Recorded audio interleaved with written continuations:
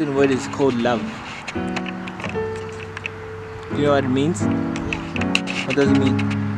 Love means something. It means caring about others, no?